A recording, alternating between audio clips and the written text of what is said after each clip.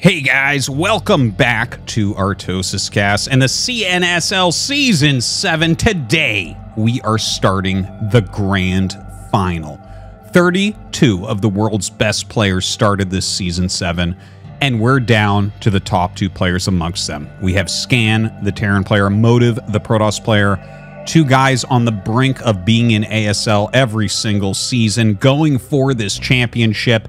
Scan, a former champion of the CNSL. Motive has had some good seasons, but this is definitely his deepest. Looking amazing, both of them. It's going to be a best of seven. It's going to be sick. Let's go ahead, get this started. We're going to Citadel for map number one. Get yourself ready. In the bottom left, our Terran player, Scan. And in the bottom right, our Protoss player, Motive. All right. they both played amazingly throughout. Uh, Motive, I feel like we've seen a lot of his uh, Protoss versus Zerg specifically to get here, which, you know, a lot of times that's kind of like the harder matcher, matchup for Protoss. So if they're getting through a bunch of those, you don't really need to worry about them too much. Uh, but Scan showed some of the world's best Terran versus Protoss games. Uh, they were pretty flawless. His match against Ruin was next level. Honestly, I feel like Ruin was one of the strongest players this season. I felt like he was playing like one of the strongest players this season. And Scan, Scan bopped him. So I'm actually favoring Scan for this series. But, you know, if Motive just busts out sick plays and owns, I guess it is what it is. We'll see about that. Now, as far as Citadel goes, I personally like Citadel quite a bit for Terran vs. Protoss these days. Uh, as the metagame has evolved, it, it feels like a pretty comfortable map. Uh, but it feels like there's a lot of play all over the place. Really, any strategies can be utilized. So we'll wait and see uh, how Motive wants to end up playing that. and while we wait for this game to heat up, because as you can see, it's just like very standard openers, no scouting even going on as of yet. I want to thank you guys for checking out Artosis Cast. Another big thanks to Caster Muse as well. His links are below. Uh, for running this, of course, that is what the CNSL is, Caster Muse Narak StarLeague. And uh, yeah, thank you everyone for following Artosis Cast, for checking everything out every day. You guys are the best. Uh, and there is a Patreon if you wanted to support in that way. It's patreon.com forward slash artosis. And uh, yeah, the link is in the description as well. Thanks to everyone who has supported over time because you guys, we were a partial sponsor for this tournament. And if there's another one, we're going to do that again. So thanks, guys. Now, game uh, starting to warm up a little bit. Scan going to get that lucky first scout off. Motive, on the other hand, going the wrong way with this probe. But as he gets up here, uh, he'll know that scan is bottom left. Like, this is the exact timing that you're used to if they're next to you. So Motive will cross scout uh, to go to scan space here. Dragoon on the way. No Zealot was made, and that's like an important thing for Scan to check. He sees that range is on the way. He sees that, well, he knows that a Dragoon is on the way, right? so he'll pull this out before, you know, he'll pull this out around three minutes. and you just, you don't want the Dragoon to pop out and get you. And he actually starts a bunker right away. So this will probably be a two Marine bunker then. If you start a bunker that early, it's because you don't want to make the third Marine. So basically, you're going to buy the bunker anyways. And if you have the bunker, you don't need three Marines. So a Dragoon beats two Marines, but three Marines and a Dragoon basically equalize each other. uh, so, like, if, you know, you can go either way. You could make three Marines here, like, in this type of situation where there's no Zealot. I make three Marines personally, and I go for the bunker later, but he's decided to just go for that bunker. And in fact, he built it really far out to make it harder to scout his, his command center, but Motive will scout this. It's only two Marines in there, so it's not that big a deal. Yeah, he pops his head in. He sees that it's being made, and let's see where Scan goes from here. Of course, he's got that additional depot going up. He has... Oh, is he going to get speed? No, he goes mines. Okay, so basically what this build has done for him, guys, uh, if you, you know, if you go for the three Marine expansion with the later bunker, you make a Vulture. It's called a Vulture expand uh, without the add-on. So what he did was he skipped one Marine to get the bunker quicker, which allowed him to go for the add-on quicker, which means that that mine upgrade will be done 19 seconds faster than normal, right? or it could be even just slightly more than that. But basically, that's the build time of a vulture, right? So he, he's just he's pushing his mind's upgrade forward in this game, which actually might be very important.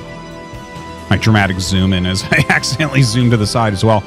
Citadel of the Adun. It looks like a DT rush is coming out of motive. Now, this could be a DT rush or a DT drop. I feel like DT drop has actually gotten a little bit more popular lately.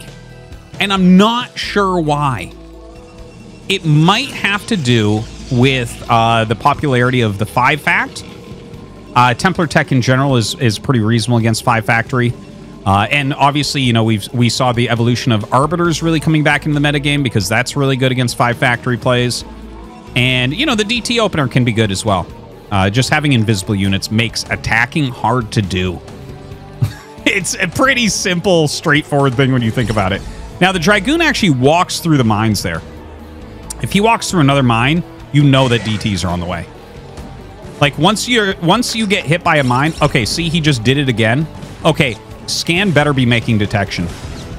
He better make more uh, more mines and everything too.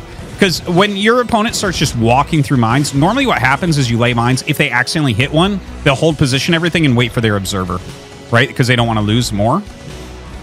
And that's not what we're seeing. I think Motive might actually just win this game really quickly. A Zealot is coming as well to walk through any mines that there are.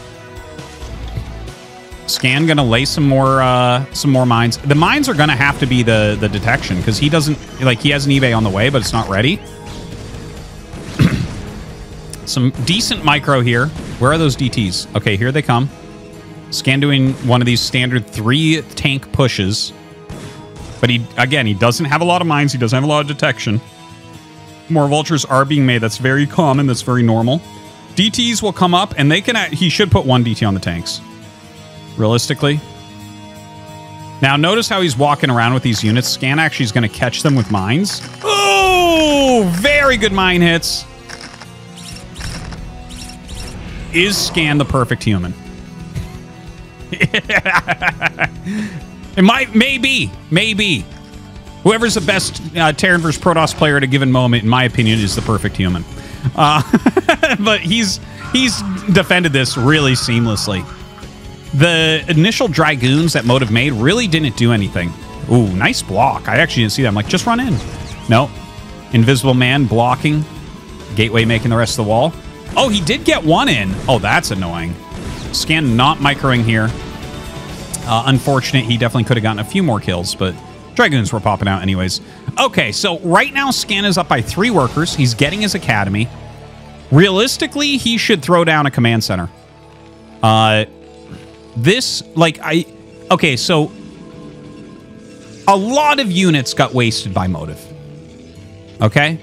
That's for sure. Now, when your opponent wastes a lot of units, it makes you want to attack them. I get it. I'm a Terran player. I feel that way. But whenever they go Templar Tech, it is my honest opinion. Oh my god, he canceled the gate and made an observatory and it's not tight. Oh, he traps three of them? He traps three and two get in. Now, the two that get in are actually going to get some pretty reasonable damage here. That's a big sacrifice of vultures, though. That is a big sacrifice of vultures. He just spent like five, six vultures there and didn't actually get... He almost got a ton of probes. Like, that was close to, like, that could have been... If all of them get in, man, that game probably ends.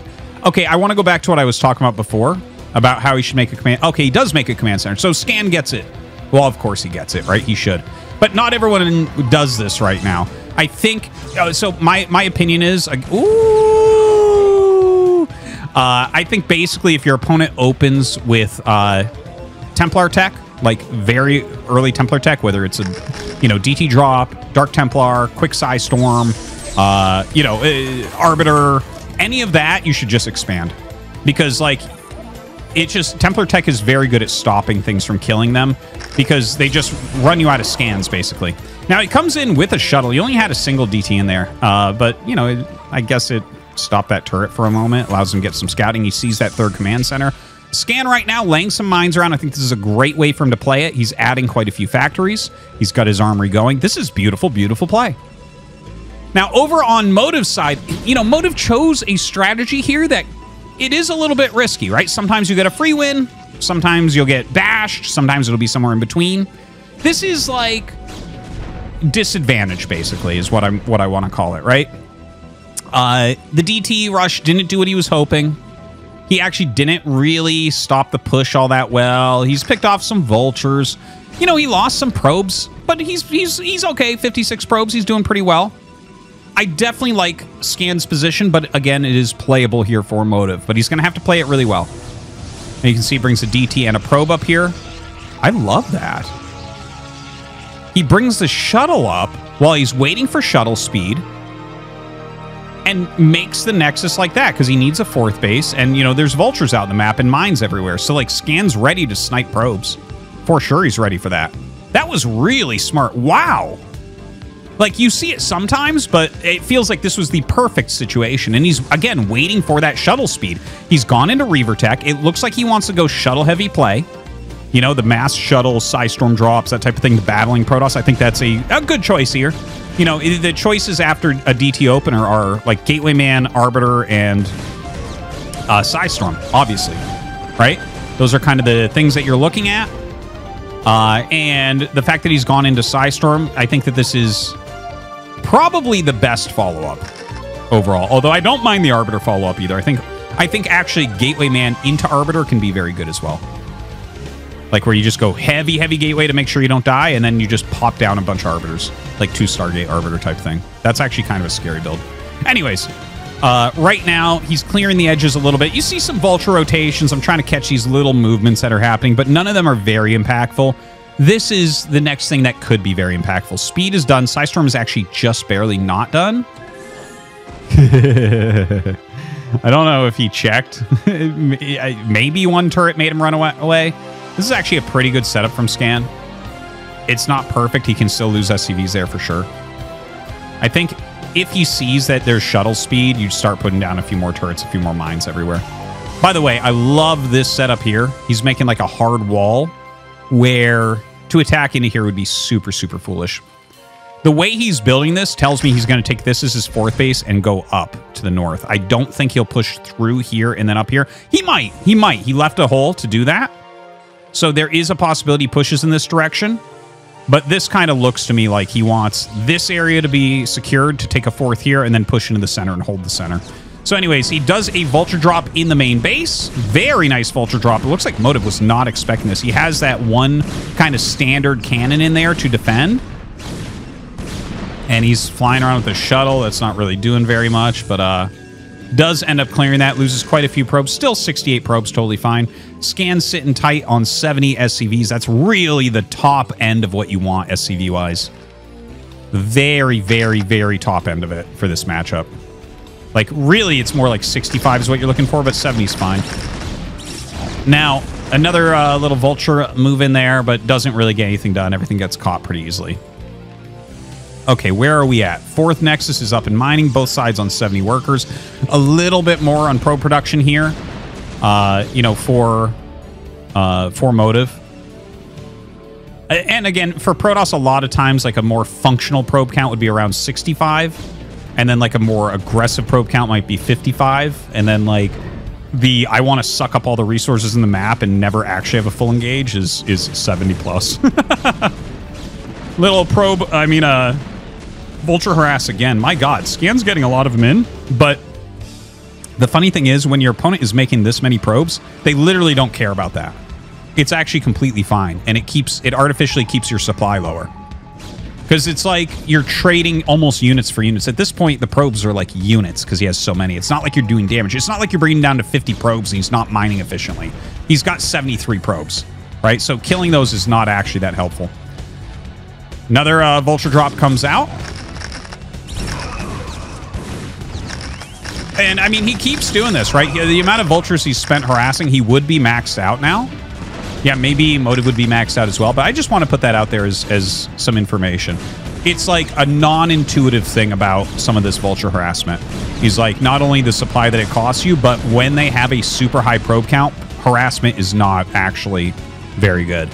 It's almost better to just leave them on those probes and just count on having a better army. But you can't always tell how many probes they have either. That's actually very hard to tell. You'd have to scan every nexus and all at the same time, right? And that's not actually useful usage of scans. Anyways, whatever. Enough talk of that. Scans starting to move out. So as anticipated, he's set up this very hard area to break, and he's moving to the north here. Yeah, there's that fourth command center. So this will be his fourth.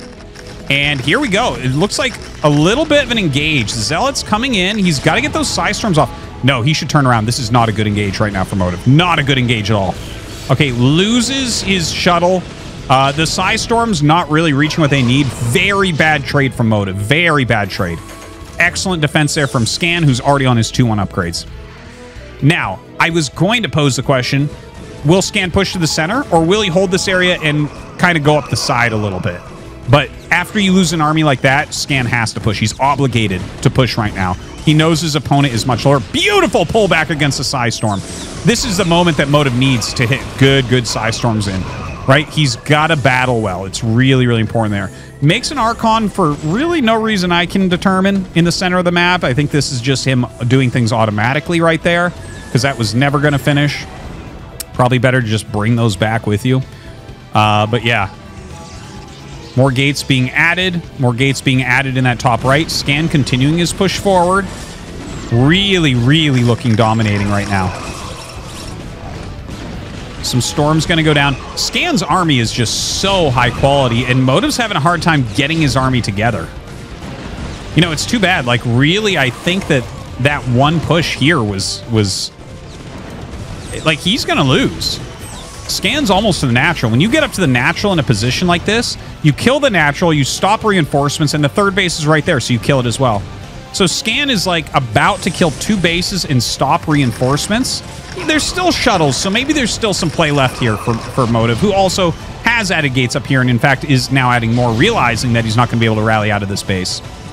Definitely a bad spot, though. Look at this. Just sends a few tanks over here, sets up his vessel for that vision everything looking rough. Really, I tell you, it was the game was like uh, pretty reasonable. Like Scan was certainly ahead, but that attack just didn't make sense for Motive. Like he he had a battle based army. He was like kind of attacking into way too much with way too good of upgrades. Uh, just didn't feel like a very very good attack. It's like some dragoons got over there somehow, got cleaned up very easily. We don't really see very much anti-air. So the shuttles will do whatever they want in here. Maybe if he can drag some mines in, but it seems like everything's going pretty poorly. GG is called, and that means Scan will take game number one. GG, thanks for watching.